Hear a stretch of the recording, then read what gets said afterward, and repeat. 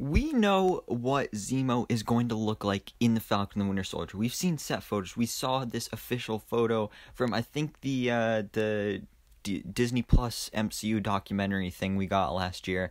Um, so we know what he's going to look like, but we haven't seen a full look altogether. Like we've seen this image where it has his mask on, but then you don't see the lower half of his body. And then like we've seen set photos where it shows him with his jacket and everything on, but no mask. So now we have technically our first look at his full suit and his full getup all together.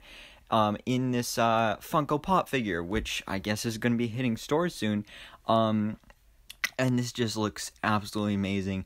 I love the mask. I love the jacket with like the uh, animal printed fur collar. Um, he's got even purple gloves and everything, a purple shirt, a belt. This just looks amazing. Um, I love how this character looks in the series.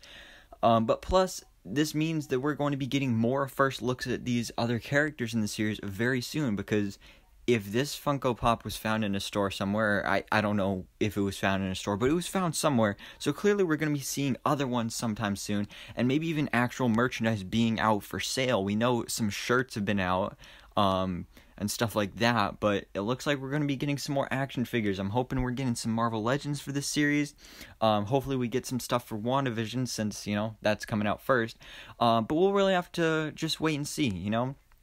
Um, but overall, I really love the way this outfit looks, and I can't wait to see more from the Falcon and the Winter Soldier, especially about Zemo. So, guys, let me know down in the comments below what do you think about this first full look at Zemo's full outfit with his jacket, with his belt, with his iconic classic purple ski mask. So, thank you guys so much for watching. Please drop a like if you enjoyed this video and hit the subscribe button so I can keep you up to date on everything that goes on in the Marvel life.